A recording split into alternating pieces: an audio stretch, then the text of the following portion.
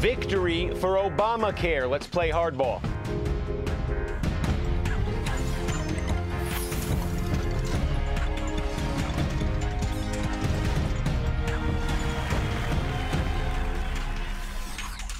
Good evening. I'm Steve Kornacki in for Chris Matthews. A huge win for President Obama at the Supreme Court today. In a 6 to 3 decision, the court rejected a challenge to the president's signature legislative achievement, the Affordable Care Act or Obamacare.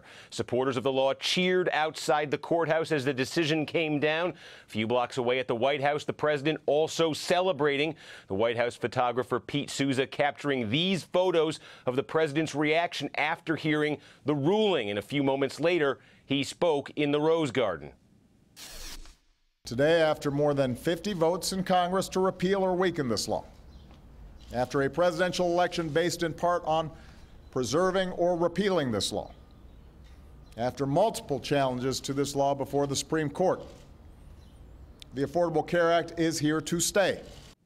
The court rejected the argument brought by opponents of the law that the language in the bill dealing with subsidies to low income Americans was meant only to apply to consumers in the 16 states that set up their own exchanges. That would have taken away the financial benefit to more than 6 million people in the other 34 states that are using the federal exchanges.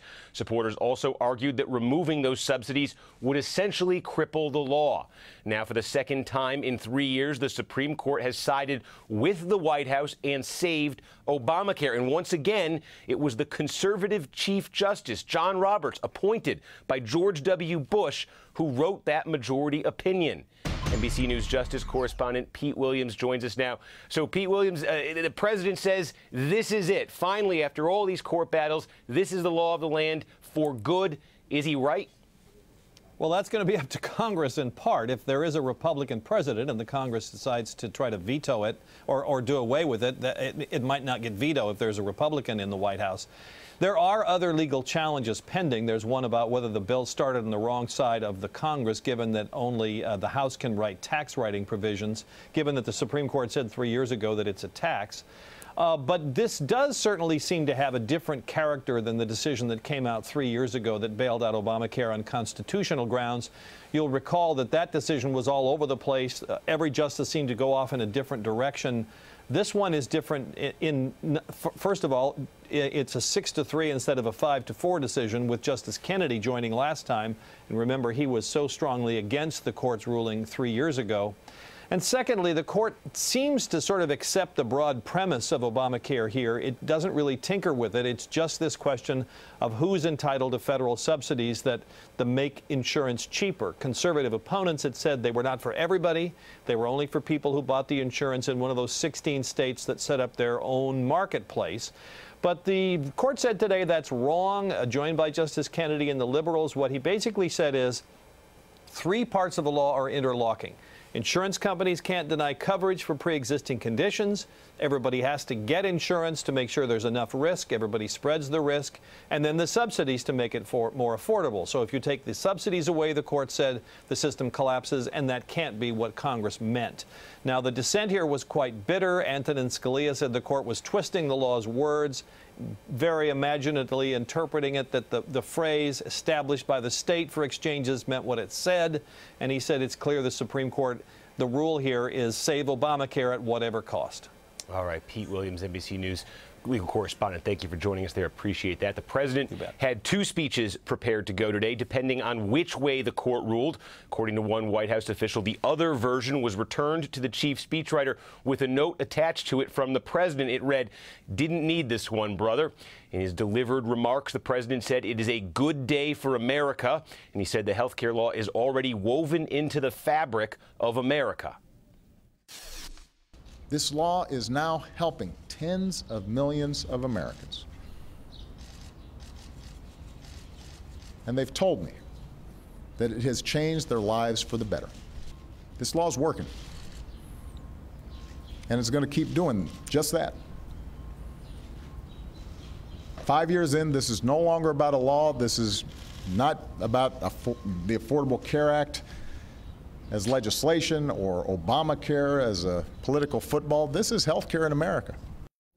I'm joined now by David Simas, the White House political director. So, David, I mean, let, us talk about this in, in, big picture terms here about the legacy of this president, of this administration, of this era of American history. I mean, this is a president who ran for office in 2008 promising to do big things, who has been stymied by Congress for so much of his presidency, but he did in year two manage to get this through. And today, with this court ruling, this is a statement about what his legacy is going to be, isn't it?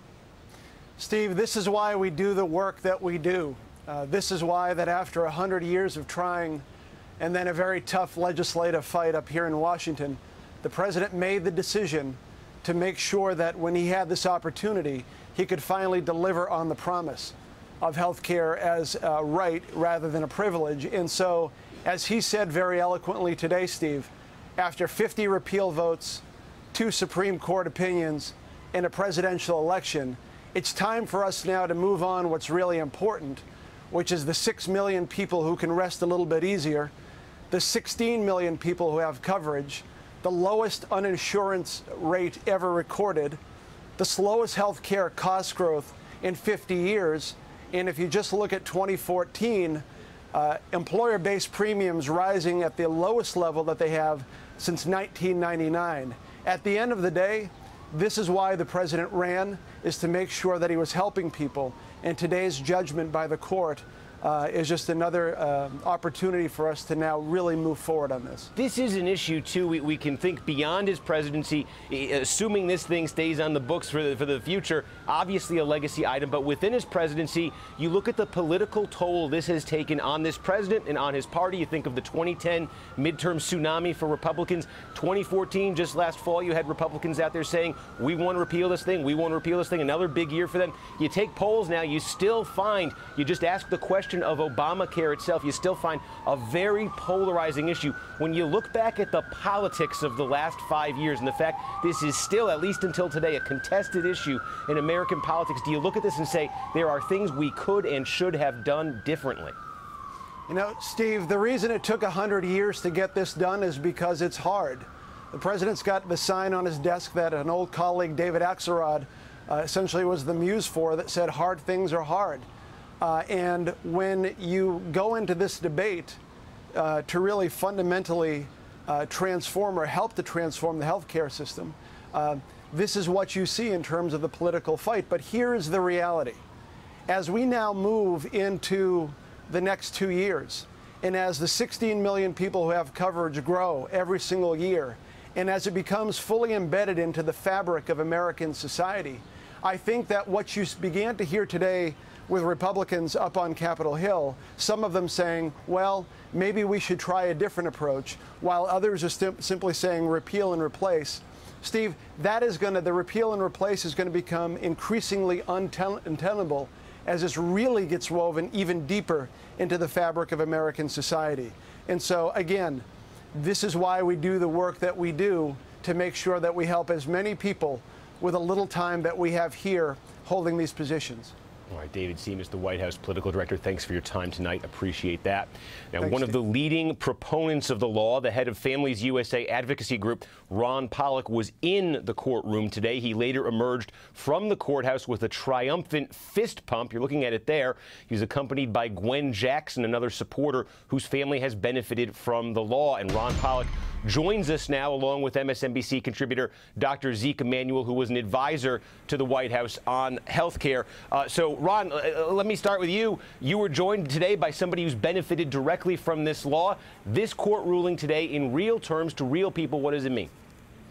Well, it means that they now have the peace of mind that the health coverage they couldn't get before the Affordable Care Act became law now they know that they're getting significant help, they're getting substantial subsidies that make health coverage affordable, and it won't be taken away. And so we have talked to countless people, many of whom we've brought to Washington to tell their own stories. Gwen was one of them.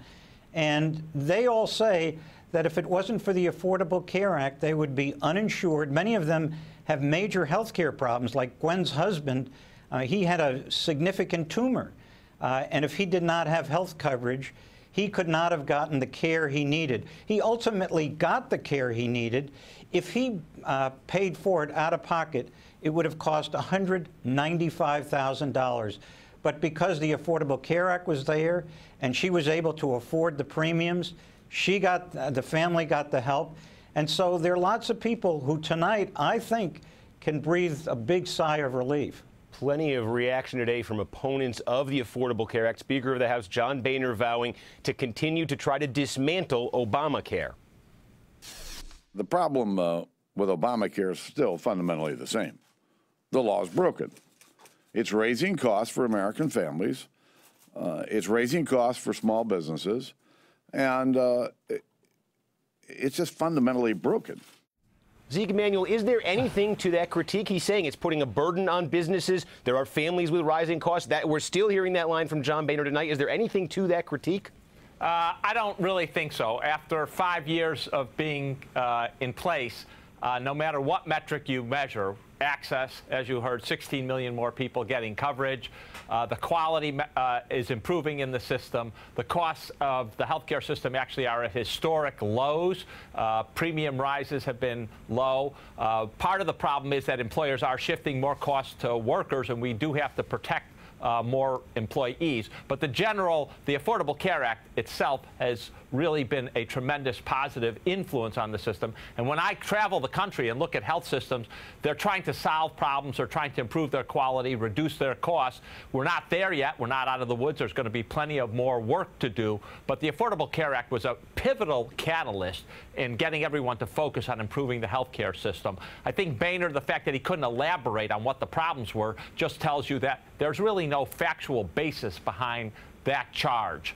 Um, the Affordable Care Act is good, and now, you know, we know that it won't be repealed. I mean, uh, John Roberts was pretty clear, no more frivolous lawsuits, and no more uh, fear that an administration might come in and change this rule because the IRS was the source of the ruling uh, in this ambiguous case. And uh, I think he pretty much put it to rest. Uh, for good. Yeah, Ron. So you were in the courtroom uh, today. You know, we don't have cameras in there, unfortunately. But I mean, we had this uh, this very bitter, vitriolic uh, dissent that was read by Antonin Scalia. You had Roberts using language, uh, as Zeke is saying there, a lot more, I think, firm and emphatic than people were thinking. What was the reaction it like in that courtroom? Paint the picture for us, because we couldn't be there.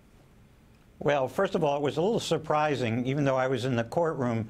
Most of us actually expected that the decision would come down tomorrow. Uh, uh, Don Verrilli, who's the Solicitor General, who I spoke to just before the court proceeded, he thought that it was going to come down tomorrow. But I have to say that uh, the Chief Justice actually articulated the opinion exactly the way Don Verrilli actually wrote in the brief. You have to look at the entire statute, not just at a few words. Uh, what was really interesting is when Justice Scalia started reading his, uh, his dissent, and he was sitting immediately next to the Chief Justice. Uh, you know, he, and, and it was a pretty scolding uh, dissent. Uh, the Chief Justice was looking straight ahead until uh, Justice Scalia called it SCOTUS care as opposed to Obamacare. Uh, I have to say, I thought the Chief Justice really nailed this uh, opinion very well. He understood that there is what we call a three legged stool. One leg is you protect people with pre-existing health conditions so that insurers don't discriminate against them.